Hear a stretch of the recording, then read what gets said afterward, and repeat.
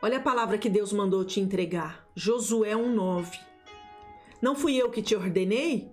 Seja forte e corajoso. Não se apavore nem desanime, pois o Senhor, o seu Deus, estará com você por onde você andar. Josué estava passando por um momento difícil na vida dele.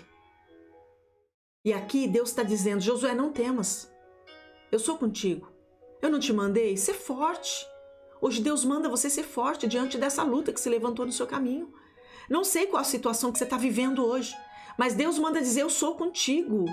Eu te guardo. Quando o Senhor escolhe uma pessoa, Ele capacita. Foi Deus que te escolheu para esta obra. Ele te escolheu. Então Ele vai te fortalecer. Portanto, não temas. Receba esta palavra para a tua vida. Eu quero orar por você. Senhor, meu Deus, meu Pai.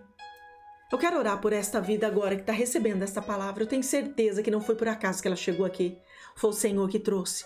O Senhor trouxe para trazer essa palavra porque ela não suportava mais a luta, ela não suportava mais as afrontas, os levantes do inferno contra a vida dela. Vai quebrando barreira, porque foi o Senhor, Senhor, que trouxe essa pessoa aqui, ó. Não foi por acaso nem sorte, não. Foi o Senhor que trouxe esta pessoa aqui para receber esta palavra, esta oração.